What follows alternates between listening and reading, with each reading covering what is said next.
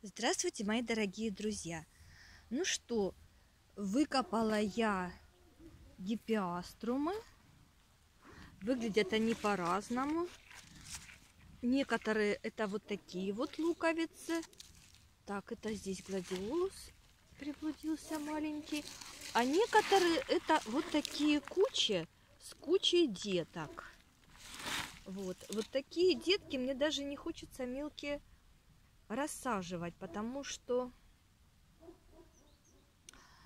э, вот покрупнее я их буду отделять, но все, что слишком мелкое, мне хочется посадить целой кучей, и пусть оно уже как-нибудь растет. Э, ушло у меня на выкопку времени очень немного. Ничего тут страшного нет. То есть я в свои 15 минут уложилась, но уже наступают холода. Не сегодня, а завтра уже будет холодно. А у меня еще и герани, и бугенвилии. Я очень рада, что гипиаструмы я выкопала э, вот когда сухая погода на улице.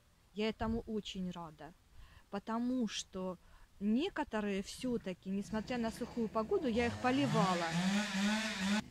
Для них даже полив оказался чересчур э, большим испытанием. Гипиаструмы любят очень большую сухость. Вот. И он, они немножко подгнили. Я их вот так сушу, подсушиваю. Еще я их притрушу золой. В первую очередь я сейчас пособираю суккуленты и занесу гипиаструмы, потому что они требуют сухости, но соседи не дают снимать.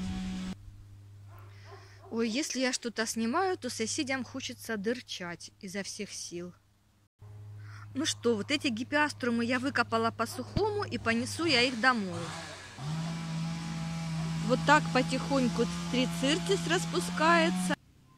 Снимать все равно не дает соседская тарахтелка. Поэтому всем удачи, здоровья и всего самого доброго.